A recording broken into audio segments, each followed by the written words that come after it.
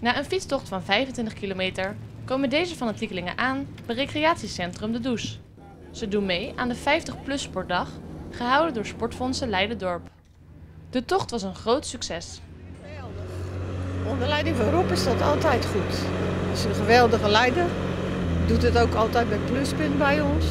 Dus we zijn al aan hem gewend. Het was een mooie omgeving. Heerlijk de pool erin. Was het niet veel te warm? Nee, Valt wel mee. het waait altijd. En het is niet warm. Ik zei tegen haar, ik heb het geen eens warm. Petje op en helemaal gaan. Na zo'n zware inspanning is een goede lunch van groot belang. Er staan immers nog meer sportieve activiteiten op de planning. Organisator Jules Zanda legt ons het programma uit. We hebben vandaag de 50PLUS Sportdag in het kader van het zomerpalet van Pluspunt. Samen met Sportfonds Leiden-Dorp. En de enthousiaste en positieve mensen hierachter hebben heerlijke fietstocht gemaakt vanochtend.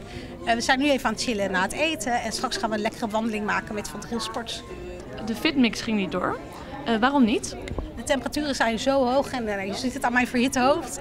dat het niet, eh, hoe heet dat, het is niet goed om deze mensen na zo'n zo'n pittige tocht ook nog een hele zware, intensieve, span- inspannende les te geven. Dus we hebben ervoor gekozen om te ontspannen en dan gaan we straks lekker wandelen. En dan sluiten we daarna met een lekkere borrel de dag af.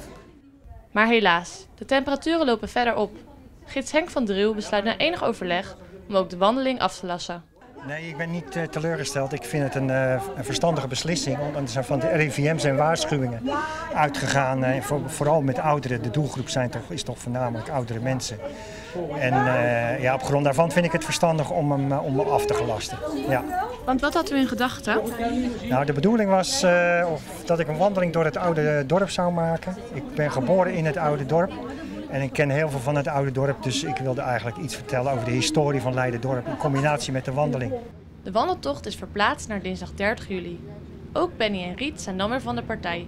Want zij participeren niet alleen maar om daar lichamelijk sterker van te worden. Ja, ik ben heel sterk, maar of waar dat van komt. Nog sterker wordt, weet ik Nee, niet. dat maar mag niet in ieder geval is het goed om te bewegen. Ja, en eh, daarom doe je dit. Zwemmen, lopen. En je tijd invullen als je alleen bent, Juist. is het zeker ook heel belangrijk. Dat is het grootste. Ja, Dat is het grootste goed. de, Dat je niet alleen bent, dat je je dag een beetje besteding hebt. de contacten met elkaar, hè, dat is ook juist zo leuk. Voor meer informatie over deze en andere activiteiten kijk je op www.sportfondsen.nl.